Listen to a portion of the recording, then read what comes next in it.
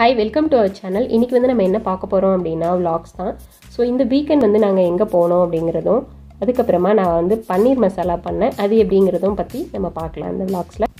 ஒரு ஃபோர் மந்த்ஸாக நாங்கள் எங்கேயுமே போகலை. ஏன்னா இங்கே ஃபுல்லாக ஸ்னோ டைம் அப்படிங்கிறதுனால எங்கேயுமே போக முடியல.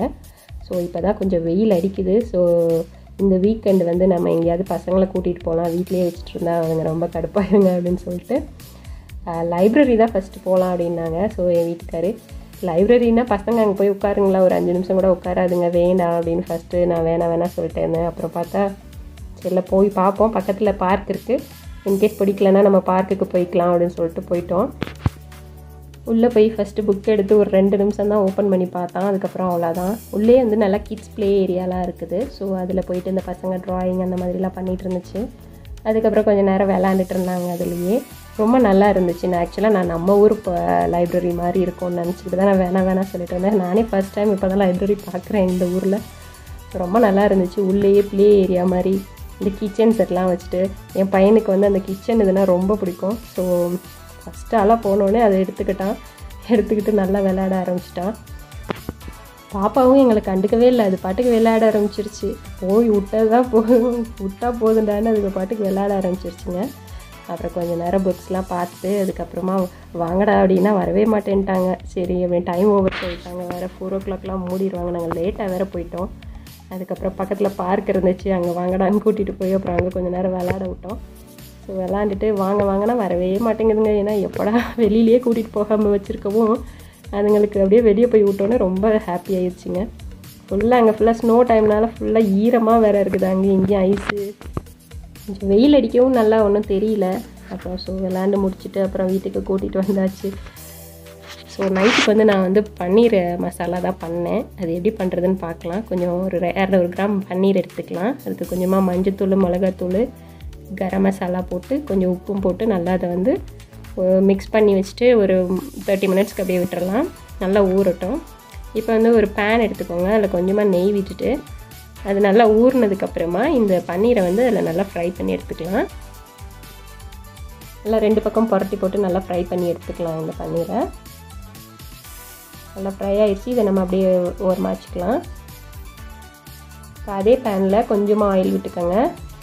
ஒரு ரெண்டு பூண்டு ஒரு பெரிய வெங்காயத்தை கட் பண்ணி ஆட் பண்ணிக்கலாம். அது நல்லா வதங்கினதுக்கப்புறமா ஒரு ரெண்டு தக்காளியை வந்து ஆட் பண்ணிக்கலாம். ரெண்டையும் நல்லா வதக்கிக்கலாம். வதக்குனதுக்கப்புறமா நல்லா ஆற வச்சு இதை வந்து நம்ம மிக்சி ஜாரில் போட்டு நல்லா அரைச்சி எடுத்துக்கலாம். அவ்வளோதான் அதை அப்படியே வச்சுட்டு நம்ம இன்னொரு பாத்திரத்தை எடுத்துக்கலாம். அதில் வந்துட்டு கொஞ்சமாக ஆயில் விட்டுக்கோங்க. இதில் வந்து இலை அதுக்கப்புறம் ஏலக்காய் அதுக்கப்புறமா வந்து கிராம்பு ஒரு நாலஞ்சு அதுக்கப்புறம் ஒரு சின்ன மண் ஸ்டிக் ஒன்று அதுக்கப்புறமா வந்துட்டு ஒரு ஸ்டார் பூ அதை ஆட் பண்ணிக்கலாம். கொஞ்சமாக சோம்பு ஆட் பண்ணிக்கலாம். ஆட் பண்ணி நல்லா பொரிஞ்சதுக்கப்புறமா ஒரு பெரிய வெங்காயத்தை ஆட் பண்ணிக்கோங்க. கட் பண்ணி. அதை நல்லா வதக்கி விட்டுக்கலாம். அது நல்லா வதங்கினதுக்கப்புறம் கருவேப்பிலை ஆட் பண்ணிக்கோங்க.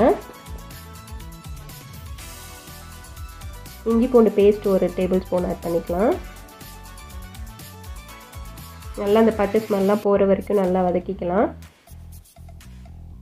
அப்புறமா கொஞ்சமாக மஞ்சத்தூள் ஆட் பண்ணிக்கோங்க. கரம் மசாலா ஒரு அரை ஸ்பூனு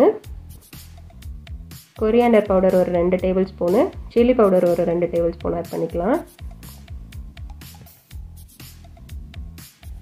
எல்லாத்தையும் நல்லா வதக்கிக்கலாம். அந்த பச்சை வாடையெல்லாம் போகிற வரைக்கும். இப்போ வந்து நம்ம அரைச்சி வச்ச அந்த தங்க தக்காளி வெங்காய பேஸ்ட் இருக்கு இல்லையா? அதை ஆட் பண்ணிக்கலாம். ஆட் பண்ணி நல்லா மிக்ஸ் பண்ணி விடுங்க. இதுக்கு தேவையான உப்பு ஆட் பண்ணிக்கலாம். உப்பு ஆட் பண்ணி நல்லா மிக்ஸ் பண்ணி விடுங்க. அதுக்கப்புறமா ஒரு ரெண்டு டேபிள் ஸ்பூன் நல்லா அடிச்சுக்கோங்க தயிரை. அடிச்சுட்டு ஆட் பண்ணிக்கோங்க. அதுக்கப்புறம் இதுக்கு தேவையான தண்ணி ஆட் பண்ணிக்கலாம் கொஞ்சமாக ஆட் பண்ணிவிட்டு இதை நல்லா கொதிக்க விடுங்க. நல்லா கொதிச்சிருச்சு. இப்போ வந்துட்டு நம்ம அந்த ஃப்ரை பண்ணி வச்ச அந்த பன்னீரை வந்து நம்ம இப்போ ஆட் பண்ணிக்கலாம். அவ்வளோதான் இதுக்கு தேவையான கொத்தமல்லி ஆட் பண்ணிக்கோங்க கடைசியாக நல்லா அந்த எண்ணெயெல்லாம் பிரிஞ்சு வர ஆரம்பிச்சிருச்சு. ஸோ இதுக்கப்புறம் நம்ம ஸ்டவ் ஆஃப் பண்ணிடலாம். அவ்வளோதாங்க உங்களுக்கு பிடிச்சிருந்துச்சுன்னா லைக் பண்ணுங்கள் ஷேர் பண்ணுங்கள் கமெண்ட் பண்ணுங்கள் மறக்காமல் சப்ஸ்கிரைப் பண்ணுங்கள் அந்த பெல் பட்டனையும் கிளிக் பண்ணிக்கோங்க. Thank you bye